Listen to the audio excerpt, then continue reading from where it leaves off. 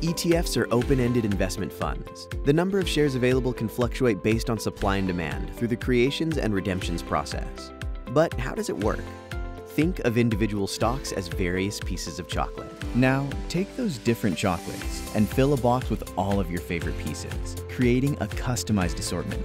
Or ETF.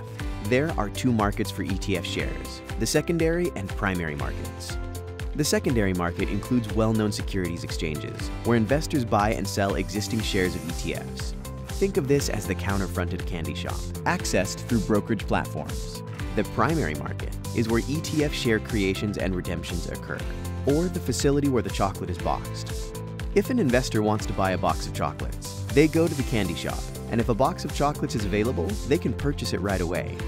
But what if the person wants to buy 20 boxes of chocolate and the shop doesn't have the supply? This is where creation comes into play. The cashier goes to the manager or authorized participant who is in charge of managing the supply of the boxes of chocolates and lets them know about the large order.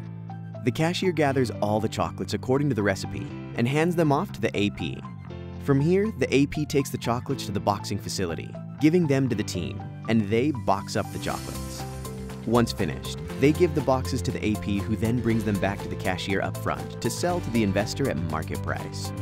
Now, what would happen if the investor had 20 boxes of chocolates and wanted to get rid of them? ETF redemption. The investor brings the boxes to the candy shop, where the cashier buys them back. The cashier then brings them to the manager and asks if the store has enough in stock.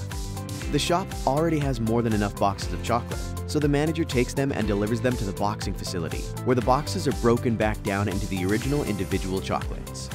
These chocolates are then picked up by the AP and brought back to the candy shop.